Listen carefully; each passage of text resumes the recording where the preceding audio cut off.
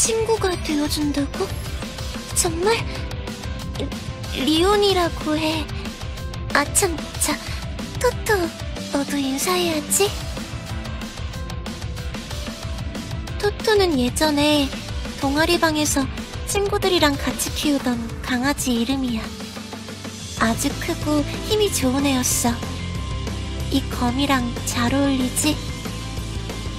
천, 천천히 가. 어? 배고프다고? 아, 울면 안 돼.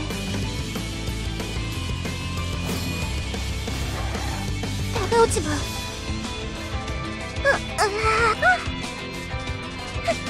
물었다. 잡아먹힐 거야. 따끔할 거야. 현식은 못 써. 내가 제어할게. 네 힘이 필요해. 멈춰! 안 돼! 이런... 아! 토토 화났다.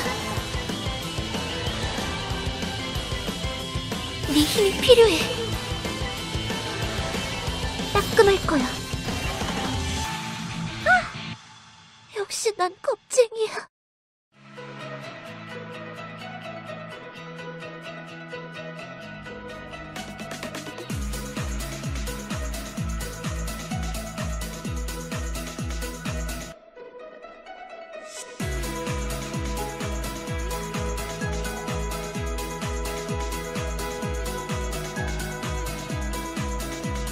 아, 이건 목장갑이야. 토토는 손잡이가 거칠어서 맨손으로 잡으면 다치거든. 한번 만져볼래?